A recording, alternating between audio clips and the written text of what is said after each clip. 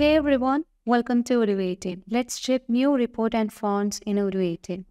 For that, you can just go to the settings and under the settings, we can just set the document layout. And here you can set different layouts such as light, boxed, bold or stripe.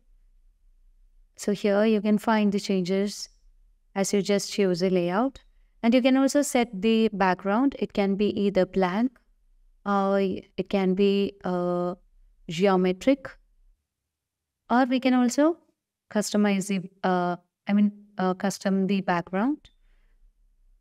So if we want to just custom the background, we can upload any image and all. For the time being, I'll be setting the background as geometric. And here you can find the change. Now we can also set the text over here. So let's set the text as Tajawal. There are different text and you can just apply over there. If you want to set the logo of your company, you can set that. And you can also set the colors over here. So let's change the color. And yeah, now let's con continue this. Now you can save the changes that you have made in these settings. Go to the accounting module. Choose a customer invoices. Now choose the gear icon. Click on print invoice and you can find the document.